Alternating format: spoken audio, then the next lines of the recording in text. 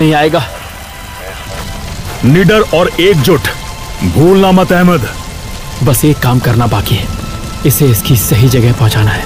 रवि करण सुनील और जावेद के लिए वो इसे घर वापस पहुँचाने के लिए शहीद हुए। सर आज आपने मेरी जान बचाई है। समझ नहीं आता मैं आपका शुक्रिया कैसे अदा करूँ? मुझे शुक्रिया मत करो अहमद। फौजी यही तो करते हैं। जहाँ भी भारतीय ध्वज लहराता है वहाँ हम अपनों की हिफाजत करते हैं। मुझे गर्व है। मैंने आपके साथ इस देश की सेवा की है, सर। अभी काम खत्म नहीं हुआ है।